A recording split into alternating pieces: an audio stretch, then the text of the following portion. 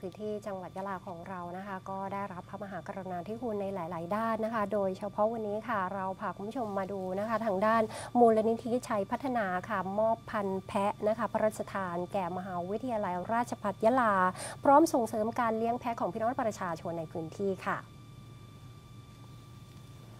ที่หอประชุมเล็กมหาวิทยาลัยราชภัฏยะลา นายเทิดศักดิ์บุญยขจร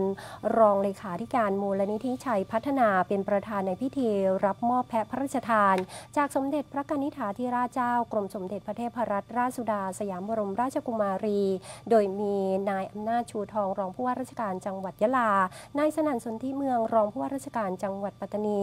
รองศาสตราจารย์ ดรชัยวัน วัฒนาจันทร์ หัวหน้าศูนย์วิจัยและพัฒนาสัตว์เขี้ยวเอื้องขนาดเล็ก ผู้ช่วยศาสตราจารย์ ดรสิริชัยนามบุรี รักษาราชการแทนอธิการบดีมหาวิทยาลัยราชภัฏยะลา และผู้ที่เกี่ยวข้องเข้าร่วม สืบเนื่องจากมหาวิทยาลัยราชภัฏยะลาได้ทำหนังสือขอพระราชทานแพะไปยังมูลนิธิชัยพัฒนา เมื่อวันที่ 5 ตุลาคม พศ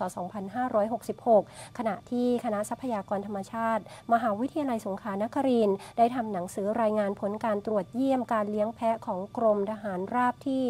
152 ค่ายชรินทรจังหวัดปัตตานี และกลุ่มผู้เลี้ยงแพะจากศูนย์การเรียนรู้เศรษฐกิจพอเพียงจังหวัดยะลา ภายใต้องค์กรภาคประชาชน เพื่อสันติ และเศรษฐกิจพอเพียงจังหวัดยะลา เมื่อวันที่ 16 กุมภาพันธ์ 2567 โดยได้ขอพระราชทาน แพะเบงกอลแบล็กเบงกอลค่ะให้แก่กรมทหารราบ ที่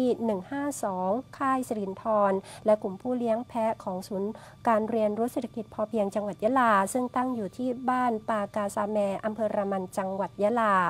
ในการนี้สมเด็จพระกนิษฐาธิราชเจ้ากรมสมเด็จพระเทพรัตนราชสุดา สยามบรมราชกุมารี